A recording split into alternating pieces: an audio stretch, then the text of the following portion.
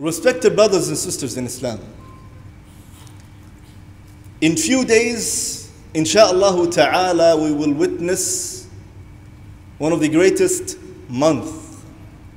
In few days, insha'Allah ta'ala, we will witness one of the pillars of Islam. That pillar, the Prophet sallallahu alaihi wasallam told us, Sawm Ramadan, fasting the month of Ramadan.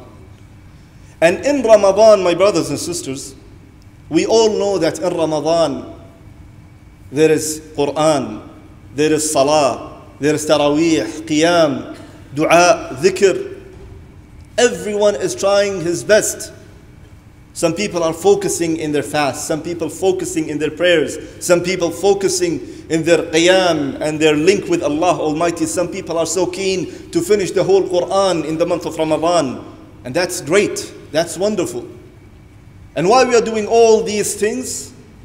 Because Allah Almighty says, لَعَلَّكُمْ تَتَّقُونَ So you may attain piety. So you may attain that taqwa. You will get this strong link with Allah Almighty end of the month or even during the month of Ramadan. So everyone knows, Alhamdulillah, that in Ramadan you have to invest every single second of your time in ibadah. But in this khutbah,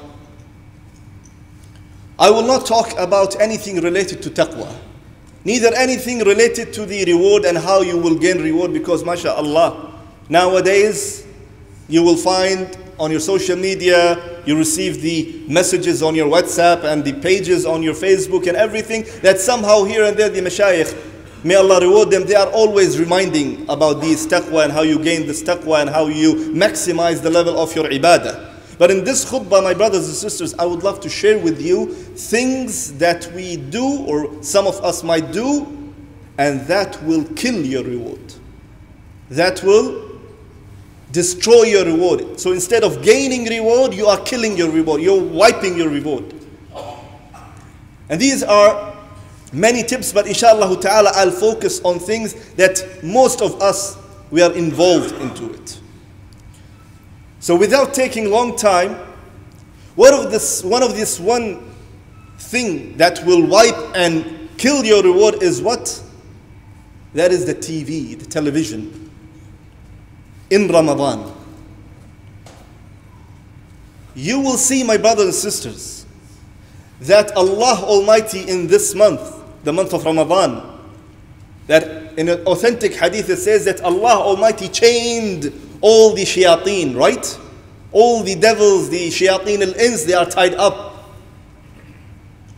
But you will see in these programs and series and TVs the most horrible and disgusted TV series is coming in Ramadan. You will see the most horrible and the concert and everything will not show except in Ramadan. Will not pop up except in Ramadan.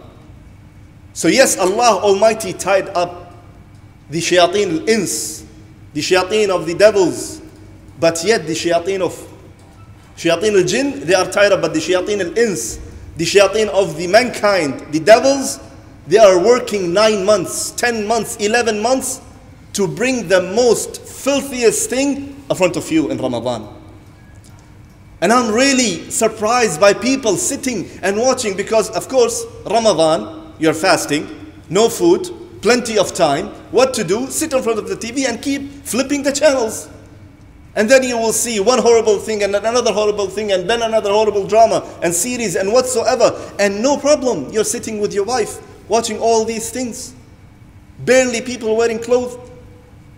People pretending that they are husband and wife. And you're just watching Adi. Maybe, you know, on your lap, your little daughter is sitting beside you. Maybe your son is sitting Adi, no problem. And by that, hours and hours spending just to wait until the Maghrib comes, you are wiping all your reward. So, where is the gain of reward, my brothers and sisters? So, be careful that yes, the shayateen they are tied up, but the, the shayateen of men, they are there. They are working for you. So, be careful, my brothers and sisters. Another thing that will also take much of your reward. That is what? Al Aswaq, the markets. And I'll be honest with you, my brother and sister, till today I have no logical reason to me, to myself, that what happened to the people in Ramadan. How come the markets are full after Salat al-Maghrib and after Salat al-Isha? That barely you will find place to walk, not to park your car. But subhanallah, what's wrong with people? They're just going and walking and, and as, as there is no shops before Ramadan and after Ramadan. And if you ask some of the people, why? Why you're just going? What's wrong? What, what's going on in the market? They will say, well, we're just going to walk. We're just going to kill the time. And this is more worse than if you're going to buy something. You know, in a hadith that is mentioned in Sahih Muslim, the Prophet sallallahu alayhi wasallam said, أحب البقاع إلى الله مساجدها وأبغض البقاع إلى الله تعالى أسواقها. That the most beloved place in the sight of Allah Almighty is what? Is the masajid, is the houses of Allah subhanahu wa ta'ala. And the most hateful places in the sight of Allah subhanahu wa ta'ala is what? Is the al-aswaq. Subhanallah. And while we are fasting, we go to the market. And you will find in the market what? What? A person is lying to sell his product. The other person, Allahu Alam, what he is doing. The one who wants to buy the product, he is arguing and going back and forth and, and arguing with the, with, the, with the person in the shop. And subhanAllah, this lagat is going on and on. I'm not saying that don't go to the market, but if you have a haja, if you have a need, if you have something to go, go buy and come. Why you have to spend a lot of time just to walk, kill the time? Subhanallah. Allah Almighty gave us all this time, the age until we witness the month of Ramadan. And Prophet ﷺ said that this person is loser who will witness Ramadan and the end of Ramadan is there and Allah subhanahu wa ta'ala is not forgive any of his sins. Subhanallah. He's not been forgiven. So Allah Almighty gave us this opportunity that you have to you have to get closer to Allah subhanahu wa ta'ala in order to gain the reward from Allah subhanahu wa ta'ala, not kill your reward. From the other side, my brothers and sisters, there is one thing very important. We know that, alhamdulillah, we are living in a Muslim country. And in Muslim country, and even out of the Muslim country, in Ramadan, people have the habit to stay long in the night. Isn't the case? Or I'm saying something out of my own imagination. No, this is the fact. In Ramadan, subhanAllah, you will find people after Taraweeh, alhamdulillah, they pray Taraweeh. And then they will come and they sit in their majalis, in their majlis or in their diwani or what you call it in different places in, in, in, in different countries. But this is the gathering, right? And in that gathering, what's happening?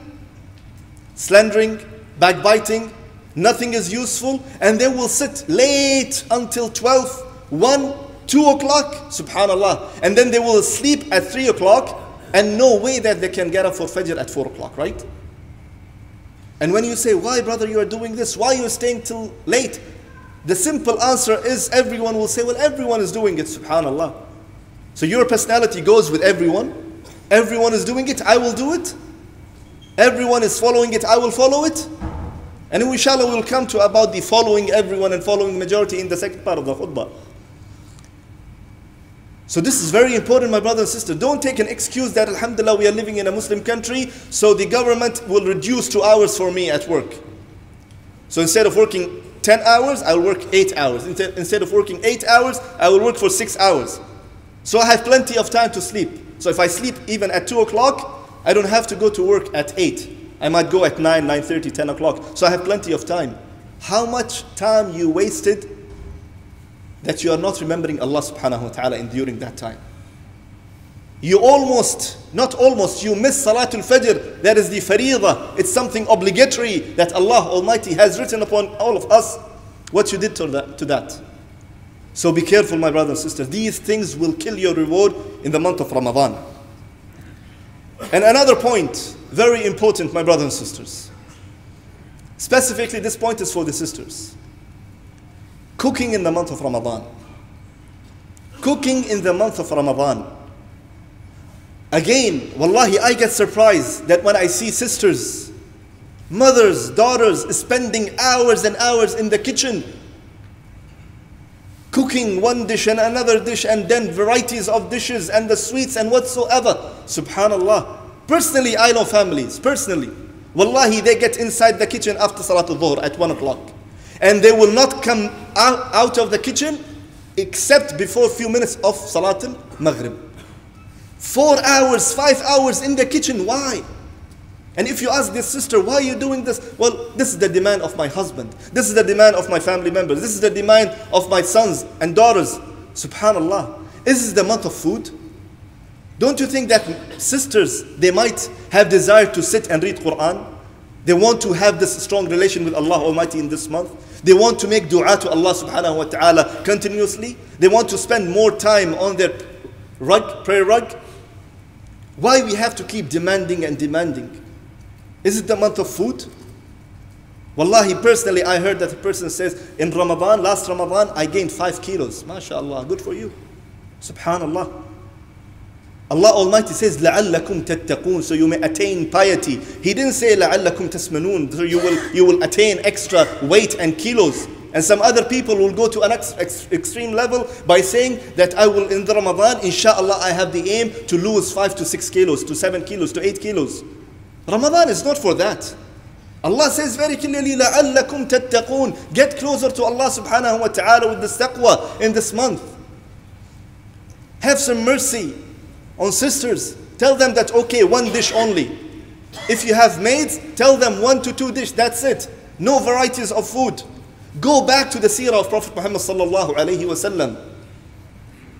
In the seerah it says that, you know, month after month after month passes and there is not a single flame at the home of Prophet Muhammad, the house of Prophet Muhammad sallallahu alayhi wasallam. Look at the life of the Sahaba. Look at the life of, life, life of Tabi'een, the Khulafa. Check their wives. How many hours they used to spend in the kitchen, especially, especially in Ramadan. Subhanallah. Very important, my brothers and sisters. Have some mercy on your family members and tell them just make one or two dishes in this month, I, I don't care. I want to gain reward from Allah Almighty with siyam and qiyam. And from the other side, my brothers and sisters, very important that if people not spending time on the TV that I just mentioned at the beginning, we are all spending time in the devices that we have in our pockets. Call it mobiles, devices, laptops, computer, whatsoever. And I know, wallahi, brothers, they are spending hours and hours and hours sitting doing what? Just scrolling, like, comment, like, comment, like, comment. Wallahi, this is what they are doing for last three hours. Subhanallah. Wallahi, if you get, give 1,000 likes or 1,000 hearts and 10,000 comments, you will not get a single reward. But if you op open the book of Allah Almighty and read half page, one page, two pages, whatsoever that Allah Almighty made it easy for you to do, for each letter Allah Almighty will give you 10. Allahu Akbar. I know some people they are doing da'wah work, you know, on, on social media and on the internet. But I say stop even that da'wah work. I know people spend hours making this wonderful designing and putting the ayat and ahadith and the uh, salaf, the sayings of the uh, pious people and whatsoever, then uploading it and whatsoever. This is good. But again, give time to yourself. Look at Imam Abu Hanifa, look at Imam Shafi'i, look at Imam Ahmad bin Hanbal, these giants, ulama. When they used to sit and give the durus, the lessons, the classes, it says that, you know, hundreds of people in front of them. Imam Ahmad bin Hanbal, rahimahullah, it says thousands of people. So imagine he is sitting and thousands of people gaining knowledge from him. And spreading knowledge is one of the greatest things in Islam. When Ramadan comes, everyone stops. Wait, no durus, no classes, no courses anymore. Give me time, it's my time and Allah Almighty. It is me and the Quran. It is me and the dua. It is me and the salah. And that's all, my brothers and sisters. That's it. Now compare. Who is better? These ai or yourself or me? You cannot even compare. These are giants. These are the best people of their time and they are the best people compared to us. And they are stopping their durus and everything, the khair that they used to spread. every day, every night, but in Ramadan, no, I dedicate myself to Quran. It says Imam Abu Hanifa rahimahullah and Shafi'i, they used to finish the whole Quran twice a day, 60 times in a month. Can you imagine? Subhanallah. This is the relation that they used to have with Allah Almighty in the month of Ramadan. And don't follow the opinion of the majority. Don't go with the flow. Because inshallah ta'ala, as I said, I will talk and I will mention about things that we think that everyone is doing it. Yallah, bismillah, go ahead, I'll do it. No. And my last point is for the sisters as well. My brothers and sisters, this month is the month of al indibat, discipline. For all of us, but especially for the sisters. I know many of the sisters, mashallah, in Ramadan, when Ramadan comes, no makeup. When Ramadan comes, they wear abaya, even though they are not wearing abaya before Ramadan. When Ramadan comes, they have the good intention to wear the hijab. MashaAllah. If you carry on with this, Alhamdulillah, just continue. Don't do it only for Ramadan and stop. La. Carry on, Alhamdulillah, Allah blessed you, and this shows that you have a good heart. You want to obey Allah Almighty, so you stopped makeup, you stopped sufur and tabarruj, you start wearing abaya and hijab. Continue, Bismillah. Ask Allah Almighty in this month, the month of Ramadan, Ya Allah, bless me. Ya Allah, bless me to continue. Give me that tawfiq so I can continue and get closer to you, Ya Allah. And very important as well, at-ta'attur, putting perfume specifically for the women. You will kill your reward. There is a scary hadith on that. Imagine, even though if you are going to the masjid and putting perfume and passing through, you know, some people and they are smelling you, horrible statement that Prophet ﷺ said about that. So Alhamdulillah, this is the month of discipline. Try as much as possible to get closer to Allah Almighty, not to wipe whatever the reward that you gain from this thing or that thing or from the little bit of your salah or the dua or the Quran. Don't wipe, wipe it, wipe it off because of the other things that you are doing. I ask Allah subhanahu wa ta'ala to bless us all to follow the sunnah of Prophet Muhammad sallallahu alayhi wa sallam in our life and ask Allah subhanahu wa ta'ala to bless us so we can read the Quran and ponder upon the Quran and implement the ayat of the Quran in our life.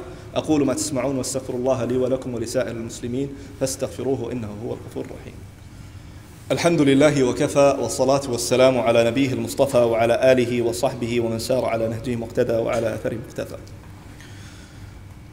Respected brothers and sisters in Islam, as I said, this is the trend, unfortunately, that we are having nowadays that if you ask anyone why you're doing that, the simplest answer that you will get that everyone is doing it. And why are you following this? Because everyone is following it. Why are you buying this? Because everyone is buying it. Why are you going to that shop, mashallah? Because look how, how look at the crowd at that shop. So everyone is going, let me go and just get into it and buy from whatever the product that they're selling, even though maybe you don't need it. So be, be careful with this statement. Check in the Quran, my brothers and sisters, that Allah Almighty says about أكثر الناس.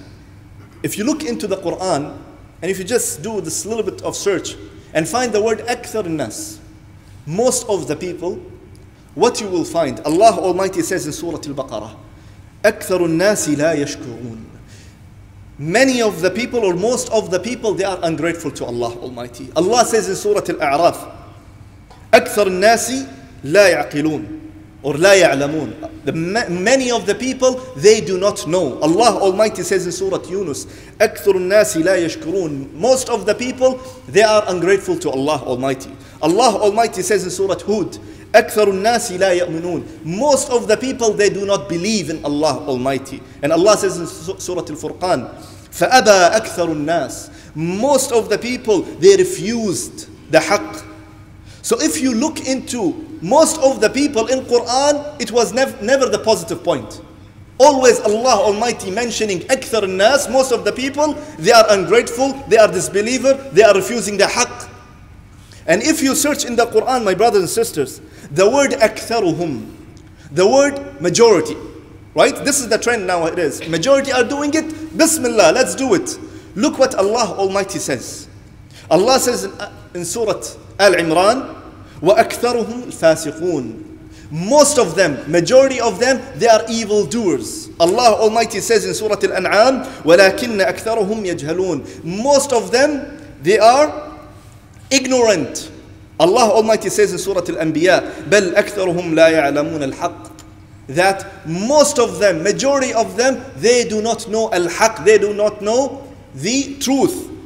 فَهُمْ مُعْرِضُونَ So, they are turning away from the haqq. And Allah Almighty says in Surah Al-Nahl, وَأَكْثَرُهُمُ الْكَافِرُونَ Majority of them, they are disbelievers. Subhanallah. So we should not go. This is the Muslim. We are talking to Muslim. We are talking to those who are having iman with Allah subhanahu wa ta'ala. So we don't go with the flow. We just don't go with the flow. You are a Muslim. You have this filtering system in yourself and in your mind that whatsoever you are doing, think that this will pleases Allah or displeases Allah. If it pleases Allah, I will do it. If it displeases Allah, I will not do it. If it will benefit me and my family and whosoever in the community, I will do it. If this will not benefit me and my family and the community, I will not do it. This filtering system every single Muslim should have. And it's never the case that if you are among the few, you are the weird person. You are the stranger. You are the extremist. No, this is never the case. I'll conclude this khutbah with one story of Umar bin Khattab. He was doing tawaf and he heard one of the companions he sings, Allahumma ja'alni min ibadika al-qalil. Allahumma ja'alni min ibadika al-qalil. Means, oh Allah, make me among the few of your servants. Oh Allah, make me among the few of your servants. So Umar, at the end he's a Umar. So he grabbed him. He said, Min ayna laka hada? From where you brought this dua? For him it's a weird dua. What is this dua? Make me among the few. What do you mean make me among the few? So Umar bin Khattab grabbed him and he said, From where you got this dua? So he says, From the Quran. He said, What? Where it says in the Quran? So he says, this Sahabi says, I read in the Quran that Allah Almighty says, وَقَلِيلٌ مِّنْ عِبَادِيَ الشَّكُورِ Only few of my servants, they are the grateful. So I'm asking Allah to make me among the few, to make me among the few. So Umar bin Khattab released him and he started crying. And he's saying, كل الناس أفقه منك يا عمر كل الناس أفقه He started blaming himself. And this shows the righteousness of Umar bin Khattab. That always blame yourself for anything that you don't know. A person is better than you in ibadah, blame yourself that, Ya Allah, I couldn't do it as this person is doing. If someone is reading Quran continuously, blame yourself that, Ya Allah, I'm not able to open and read the way he is doing. Always blame yourself. So Umar bin Khattab started blaming himself. كل الناس أفقه منك يا عمر. He's telling himself that everyone is better than you, Umar. Everyone understand better than you, Ya Umar. So, it's never the case if you are among the few, but on haqq, on the right path, Allah subhanahu wa ta'ala will reward you. Isn't enough that Allah Almighty says in Surah Hud, وَمَا آمَنَ مَعَهُ إِلَّا قَلِيلٌ Talking about Nuh alayhi salam. He gave da'wah for 950 years, but how many people believed in him and followed him? Only few. Some of the ulama said only 80. Imagine, 950 years, the result is only 80 people following the haqq, but these 80 people, they will end up in Jannah by the will of Allah subhanahu wa ta'ala. So I ask Allah subhanahu wa ta'ala, my brothers and sisters, to bless us, to follow the sunnah of Prophet Muhammad sallallahu alayhi wasallam in our life, to apply the sunnah of Prophet Muhammad sallallahu alayhi wasallam in our life. I ask Allah subhanahu wa ta'ala to bless us, to ponder upon the verses of the Quran and to apply the verses of the Quran in our life. والله تعالى أعلم اللهم أعز الإسلام والمسلمين اللهم أعز الإسلام والمسلمين اللهم أعز الإسلام والمسلمين